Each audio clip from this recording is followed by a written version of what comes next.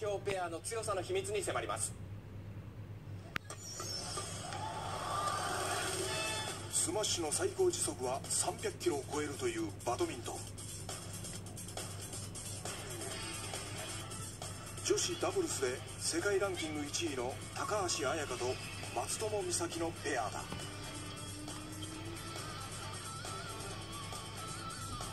リオデジャネイロオリンピックではメダルの期待も高まる。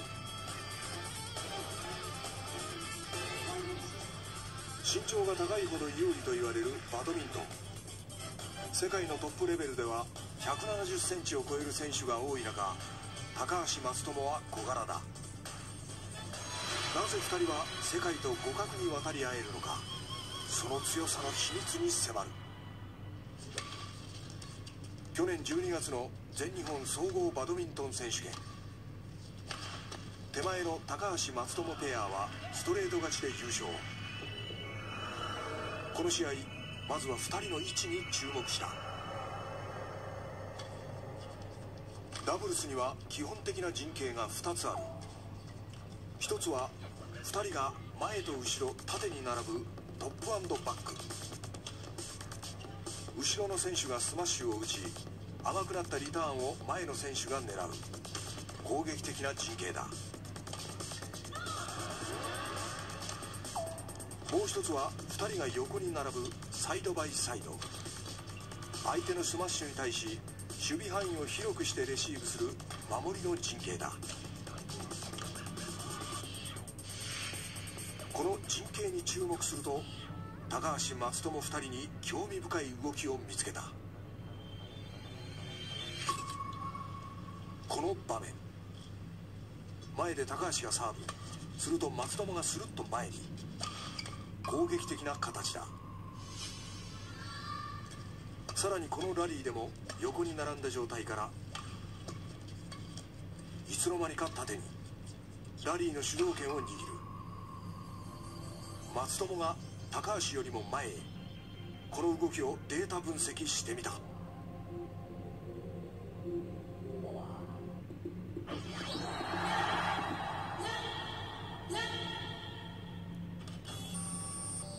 高橋松友2人がどう動いているのかその軌跡をたどった。すると一つの特徴が見えてきた。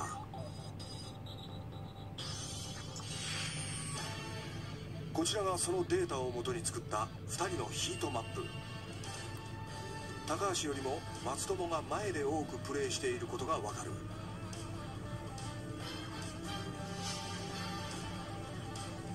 方相手選手は右と左に分かれた横の陣形だ。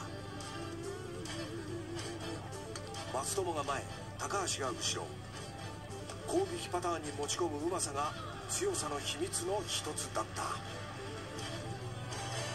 小倉さん松友選手が前そして高橋選手が後ろこの陣形になることに強さの秘密がある。これどういうことなんでしょう、えっと、その形っていうのは攻撃の形なんですね。トップバックって言ってその形をあの彼女たちはとにかく作ろうとしてますね。ちょっとじゃあその形実際に見てみますね、はい、でこの前衛の選手に捕まらないようにこのレシーブの人がこういうふうに大きい。なるほど。はいショットを上げるんですね。そうなるとこの後衛の選手が高い打点で一番いい状況でこういうふうにスマッシュが打てる。なるほど。という形ができるのでこのトップバックっていうのはすごくいい攻撃の形が作れます。前後ろにいることで前の人かわそうとすると後ろの人にとってはチャンスボールになるっていうことですか？そうですね。今のシーンをもう一度見てみましょう。こういうふうにスマッシュをいろんなコースに打つことで翻弄してるのでどこに打つのかわからない状況で打ってで相手の選手がどこにレシーブをしてくるか前衛の松友選手が山を張りやすくなる。でまた高橋選手っていうのはあのスマッシュだけではなくカットっていうこう前に落としたり、後ろにクリアっていうショットを打つことで相手を翻弄するショットをすごく持ってる選手ですね高橋選手は。ほとんどあの後衛の選手が拾ってるような気がしますけど、はい、あそうですね。基本的にはあの松友選手は本当にセンスがあってあの前衛でもいろんなショットも打てるし山の張り感っていうのはすごくいいんですけどでも松友選手がこれだけ自由にできるっていうのは高橋選手がすごくカバーをしてるからなだから松友選手は自由にちょっと出すことができる。お互いうまくこう相乗効果でやってますね。ちなみにオグシオペアの時はその前後ってどうしてたんですか、基本的に私が後衛なんですよ、はい。なのであのー、レイちゃんがその同じように前に入るっていう形を作ってました。あそなんか声の方が仕事多いような気がするんですけど。があのそうですね体力はいります。ものすごい体力はいります。じゃあ試合試合終わって塩田選手が「あ大変だった」って言われてムカつくと思いまちょっと思ってましたよね。ーでは松友高橋ペアの位置関係をさらに分析していきます。どんな強さの秘密が分かってくるでしょうか？バドミントンの日本代表選手を数多く輩出してきた日本体育大学。情報学研究室の林准教授はデータ分析の専門家だ最新研究の一つがバドミントン。シャトルの軌跡を3次元で分析し得点につながるさまざまな要素を検証している。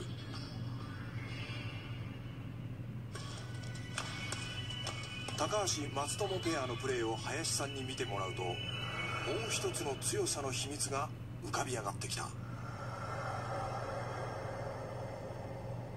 松友選手が前に出ることでこのペアは時間をコントロールしているのが特徴でそれが強さの秘密になっていると思われます。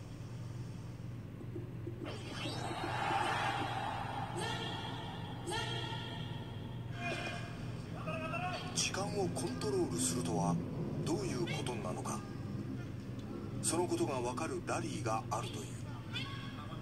第1ゲームのこのラリー見てみよう。高橋がサーブ。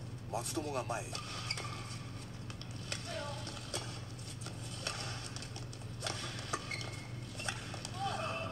お分かりいただけただろう。もう一度見てみよう。縦になって攻撃する2人。この後に時間をコントロールするプレーがある。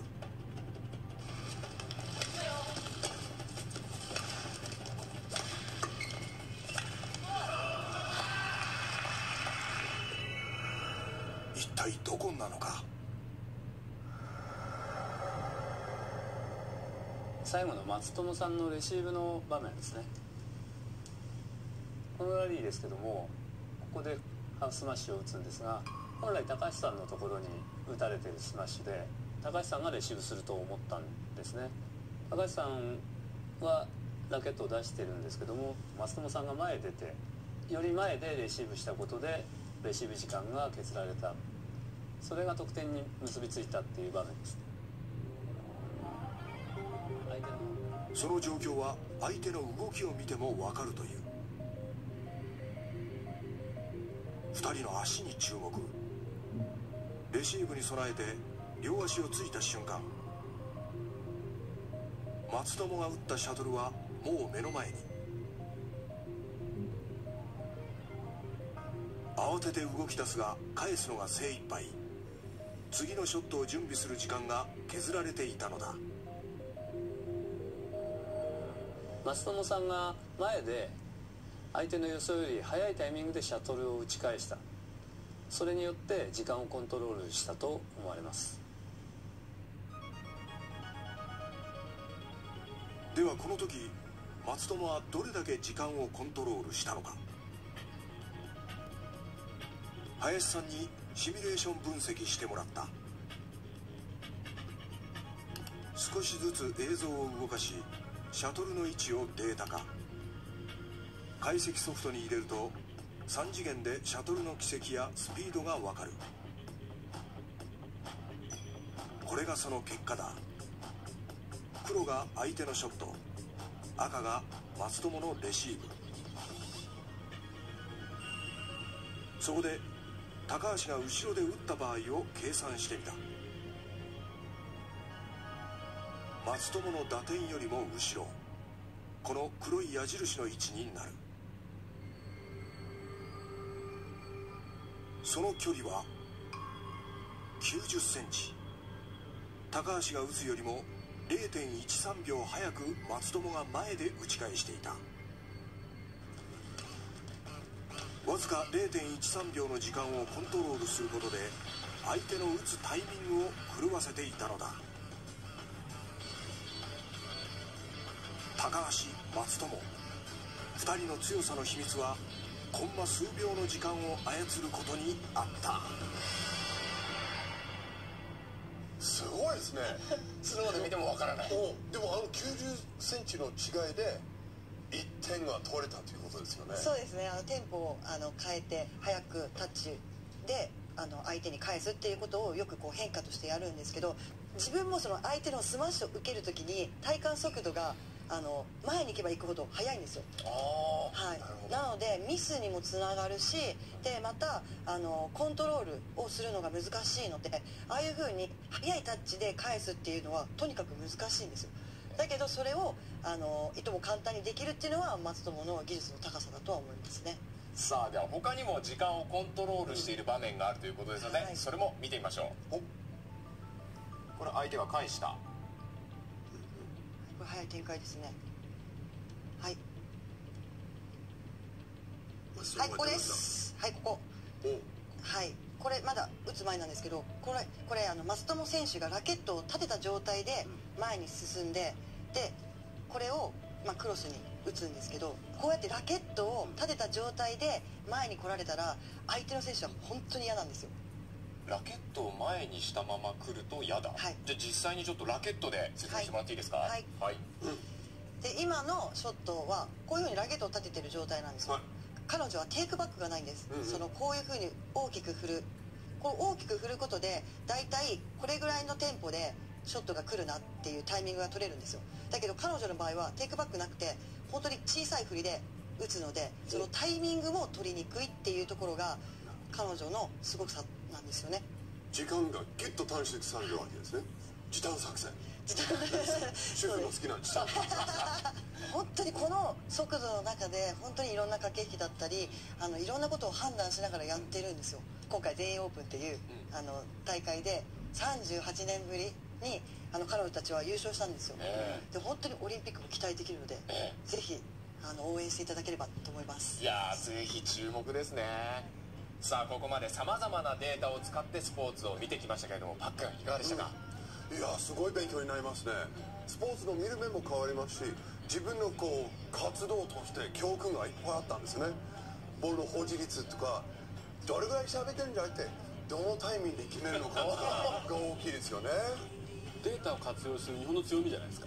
これをやっていくとさらにこう日本のスポーツ全体がね世界でこう勝てるようなそういう状況になっていくのかなと感じますね。確かに。そういうところを使っていくの日本人みんな上手ですものね。これからの日本にこの番組が必要不可欠ということですね。その通りです。ということでこちらの番組4月からは月1回レギュラーでの放送になりました。